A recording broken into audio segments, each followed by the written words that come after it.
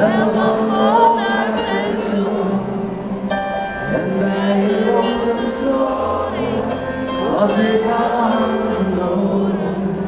Het was echt gedaan, ik heb een vreemde. Ze is niet lang gebleven, heeft geen adres gegeven. Ze heette door.